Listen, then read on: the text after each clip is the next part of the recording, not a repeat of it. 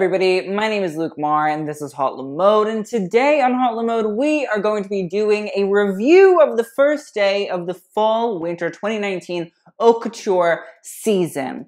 Now there are a few brands we're going to be talking about, some of them are amazing and we love them, and other ones are disgusting and make me want to die. Before we get any further into the video though, if you guys are looking for a channel that talks about fashion in the most fun, sassy, bitchy, analytical way, this is it. You move down below, hit the subscribe button, and turn on my post notifications. I mean, like, what do you have to lose? You're already here. Obviously nothing. And if you guys want to see more from me, you can follow me on Instagram at Haute Le Mode. I post some pretty poppin' fashion memes. My Instagram stories are always pretty lit. And if you want to see even more from me, you can follow me on Instagram and Twitter at Haute Le Mess. I post my outfits and my thoughts enjoy. So let's just get right into it. First up, we're going to be talking about Schiaparelli. Daniel Roseberry is new to Schiaparelli, and his first collection, following the exit of previous Schiaparelli mastermind Bertrand Guyon, was a subtle debut. In a recent interview, Roseberry discussed that Schiaparelli herself was a master of modern. And I agree, and I also think that subtly for this first collection, that was his main message. I think he was trying to make haute couture modern, and I think in fashion, a lot of the times we discuss that is haute couture modern? Does it make sense to do it? Like, why are brands even still doing it? And in certain ways, I think he actually did make it modern. And in other ways, I think that he, you know, flubbed it really fucking hard. But one thing to note is the way that the show was presented. The models did the usual thing where they walk in their crazy creations down the big old runway. Yes, that obviously happens. But what made it so different was the fact that Roseberry sat in the middle of the runway with his headphones on and like his little cute backpack next to him actually sketching out on a desk all of the looks as they came through, which in reality was supposed to mirror the fact that back in December, apparently when he was offered the job, he kind of just sat in his tiny, cramped little New York apartment and sketched. I mean, maybe the 10 years working at Thom Browne rubbed off on him, but it really seemed like Roseberry wanted to tell and show a little story of how he really came to create this first collection. I actually personally thought it was a really, really beautiful way to stage a show. I don't think that it's ever really been done where the designer just sits there throughout the whole collection, but I actually liked it. I thought it was nice to see that there was this magical little story that a designer had no problem being a part of a lot of designers just sit in the backstage and just you know then come out and do their thing where they're like oh i'm i'm an artist. I can't talk. Oh i can't do yo no no. He was like this is what i do. I'm a fashion designer. I understand that the world is global and that i'm a part of this brand. And i think the fact that he could sit in front of an audience while the show was happening is like actually kind of major and magical. But while the show was beautiful, it did not mean the clothes were always landing where they should have. The use of masculine pieces like military coats, simple blazers, and capes were all there. But aside from one really chic little blue crocodile lapel moment, they all felt very, very, very flat. There also was this fixation on this untraditional empire waistline, as the cups of the breasts were often accentuated and then almost fixated on, whether it was like crocodile skin or like these little glittery boobs. But from there, the dresses always just sort of fell right underneath in a very empire waistline silhouette.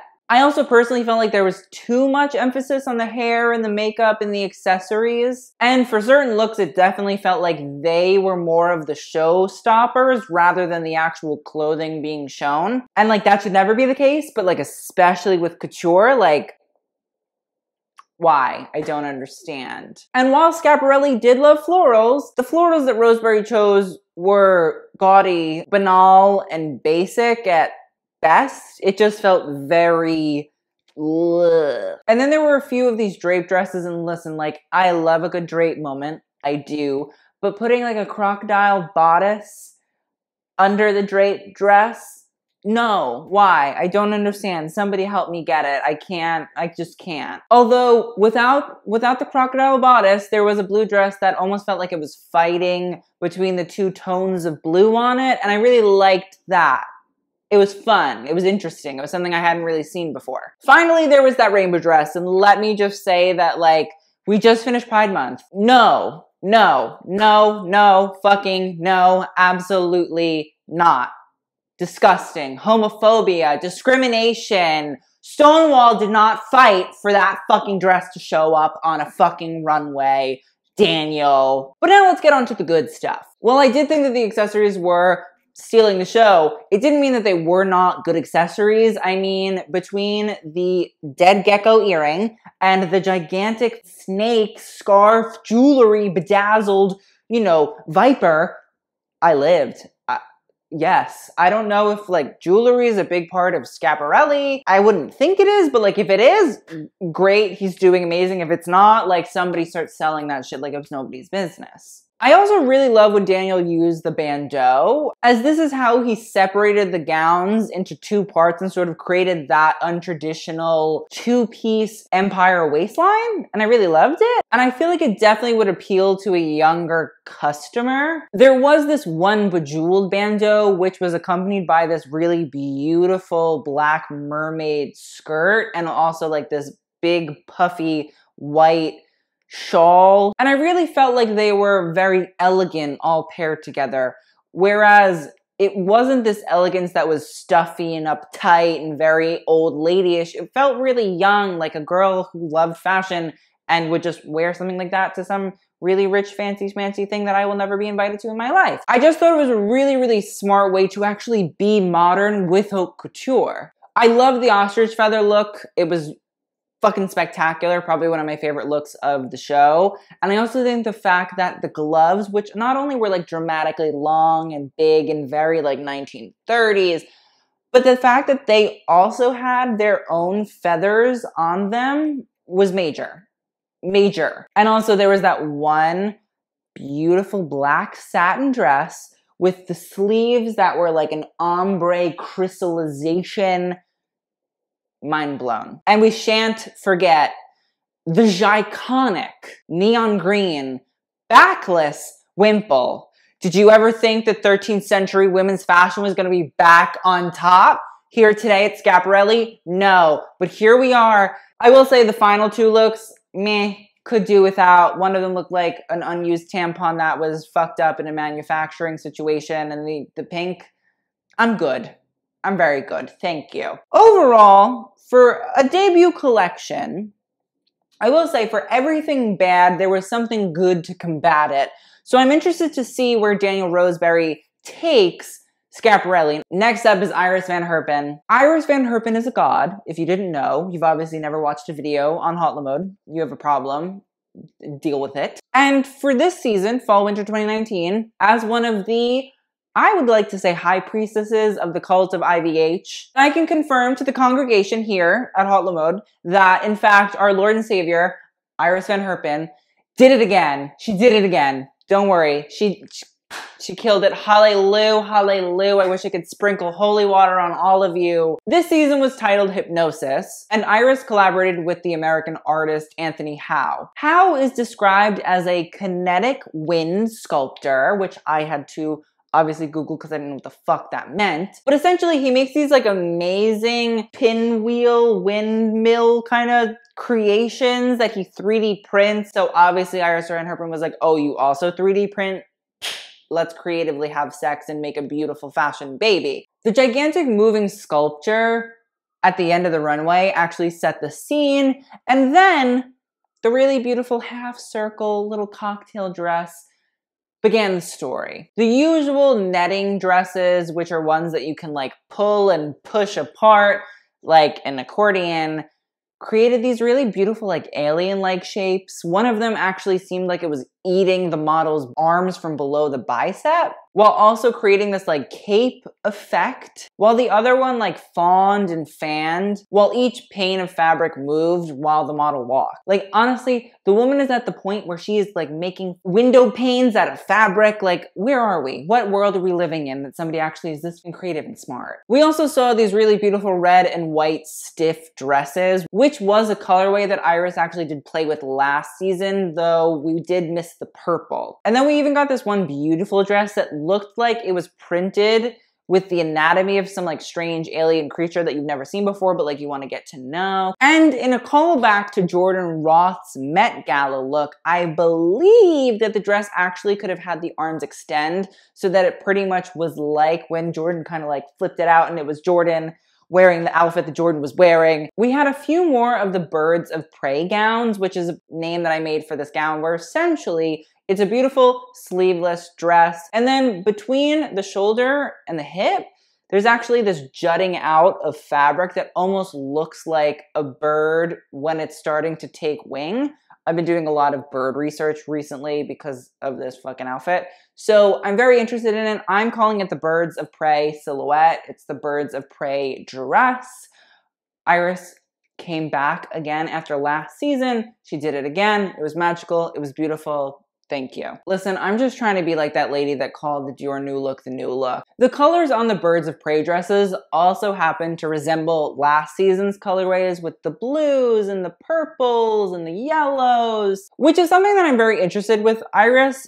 It often seems like she takes a few, you know, essential criteria from her last collection and sort of bring it to the next one. I can't tell if that's because she has such a big customer base that they want her to continue what she's actually making or she just wants to keep playing with the idea. But either way i'm very interested in why she does this continuation of pieces. Then we had two more of these like half circular fabric pane as i'm calling them dresses. One was really simple and sleek and very chic and like honestly hot as fuck. The other one was like this over exaggerated hourglass silhouette. And like, I don't know if she's making a commentary on culture and like body issues and you know what the perfect body is in the 21st century, but like, I'm just gonna assume that's what she's doing because she's Iris Van Herpen and that's what she does. The pre finale look, which looked like the flutter of a hummingbird's wings sort of looked like they had been frozen in time.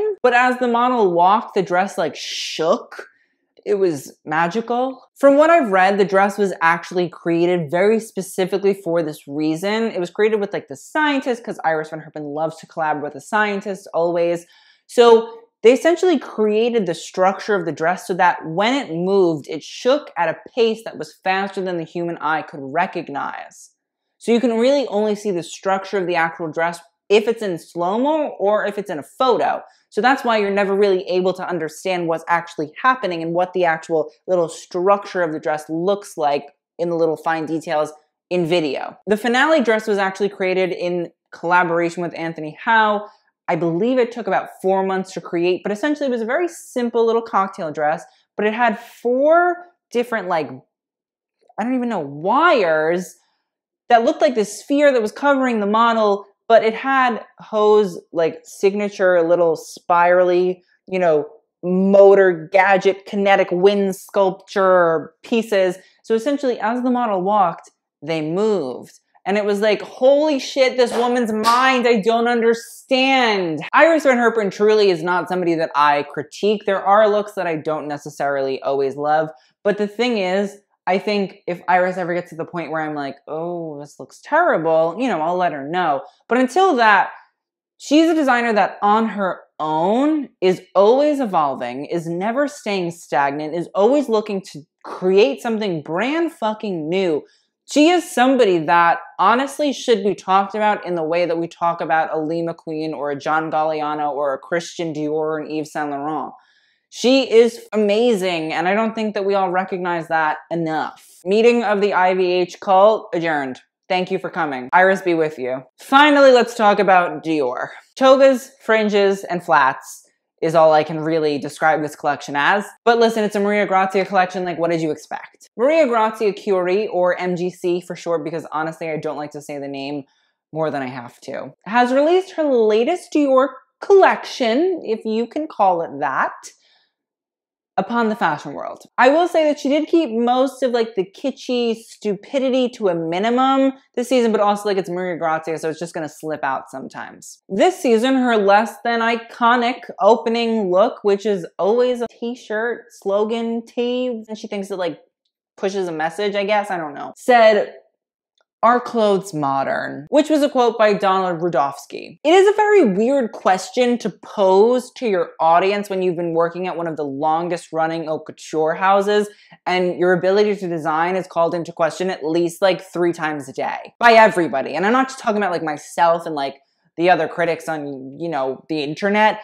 Literally everybody. I mean, listen, are any of the multitude of wool looks modern? Maybe, but I also highly doubt it. I mean, the plunging neckline cocktail dresses, the billowing sleeve jackets, the pulled coats.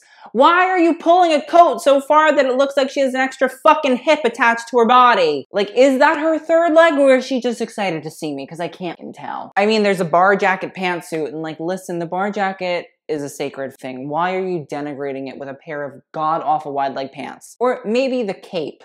The singular cape in the collection is so modern, I just might die. Are any of those really truly modern MGC?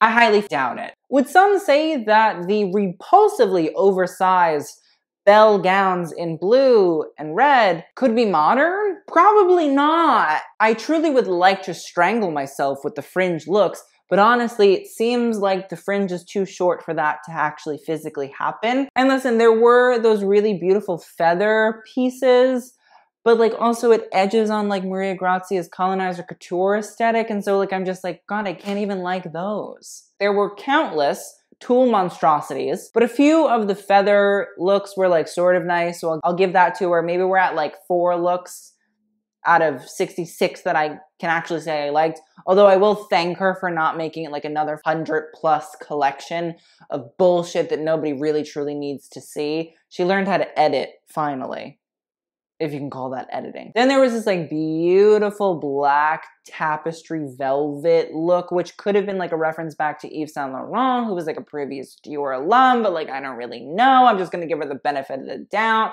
And then there were all of these gowns that had this like pulling effect, like they were like pulling the fabric all over the body. I mean, like the colors are shoddy as fuck.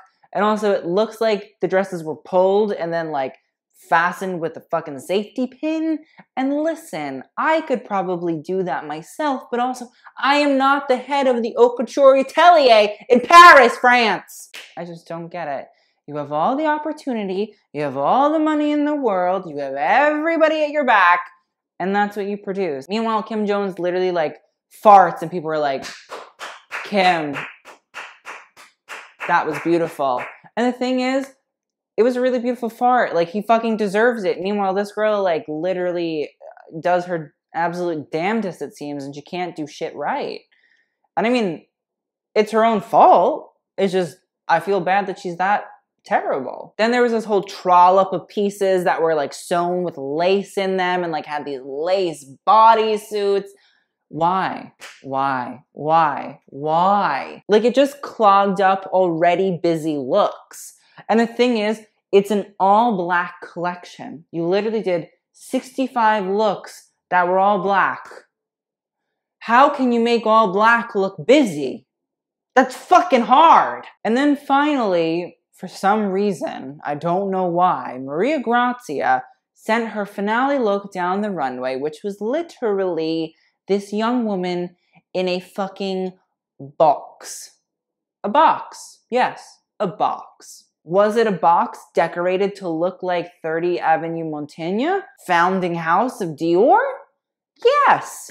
But she still sent the girl down the runway in a fucking box. Imagine that you were a model and they say, the casting agency, your, your agent, the casting directors of Dior say, oh my God, you're so amazing. We love you so much you're going to be the finale. You're walking the finale. And you, as the model, like, oh my God, like Dior Haute Couture, I am fucking walking the finale of Dior Haute Couture. And then you get to the fitting, and Maria Grazia hands you a fucking box. It's a box. Listen, is it a highly decorated box? Yeah, great. It's not fucking haute couture, because guess what? Not even the craziest people I fucking know would wear a box. I don't get it. Listen, it, then they like put her in these fishnets. So not only is she wearing a gold box, now she's wearing these ugly ass black fishnets, and she looks like the fucked up sister of that one toy from Toy Story. Except like she's the ugly sister because she is the box. And the other sister is the sexy sister with the fucking fishing rod hanging out of her. Listen, Maria Grazia, you make my life so difficult. You make everybody's life so difficult. Please like go to Fendi, go to anywhere else in LVMH. Go to like Hennessy. Go work at Hennessy. Please go work at Hennessy. That's where you should be. Creative director of Hennessy. Maybe wouldn't fuck up bottle design. Probably would do that too, though. And in case you were wondering if Maria Grazia, your clothes are modern, they're not. That is the end of the first day of the Haute Couture review for the fall winter 2019 season. I'd love to hear all of your guys' thoughts. I mean, you know, this is a very polarizing day. You have some people over here and some people over here, and you're just kind of in the middle, like, mm, mm, mm, mm, mm this sucks. So, yeah. Please let me know again what you guys thought in the comments below. I'd love to hear all your thoughts, opinions, comments, concerns, critiques. I will see you guys in the next video and TTYL.